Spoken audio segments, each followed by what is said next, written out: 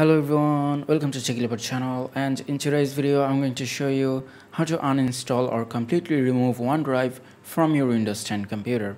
Now the first thing you have to do is go to start and then click on settings. Now from here click on apps.